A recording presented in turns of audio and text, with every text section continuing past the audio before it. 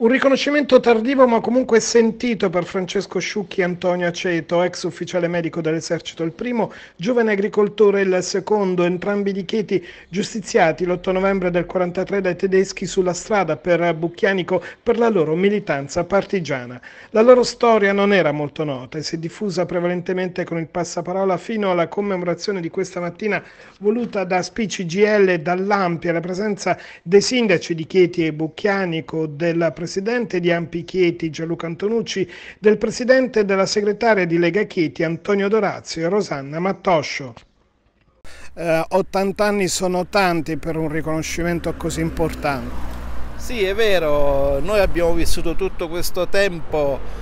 diciamo all'oscuro di tutte le storie di cui siamo venuti a conoscenza adesso e di cui ringraziamo per il riconoscimento avuto perché effettivamente ci fa soltanto piacere anche se noi in realtà eravamo già felici del loro operato perché fieri del loro operato.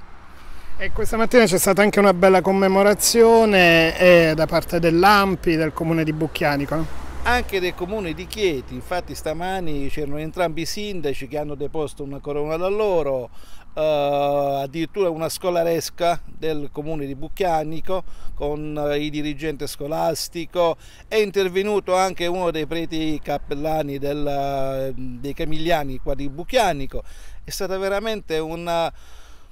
un riconoscimento sentito da tutti.